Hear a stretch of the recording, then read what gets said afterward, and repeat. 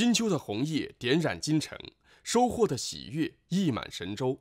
中国共产党和社会主义中国迎来又一个历史性节点，世界进入中国时间。十月十八号，举世瞩目的中国共产党第十九次全国代表大会将在北京开幕。在全面建成小康社会决胜阶段，中国特色社会主义发展关键时期，两千两百多名代表汇聚一堂。党的十九大将着眼党和国家事业继往开来，提出具有全局性、战略性、前瞻性的行动纲领，明确宣示举什么旗、走什么路、以什么样的精神状态、负担什么样的历史使命、实现什么样的奋斗目标，在中华民族伟大复兴征程上竖起一座新的历史丰碑。勇力滔头。自信的中国已站在新的历史起点上，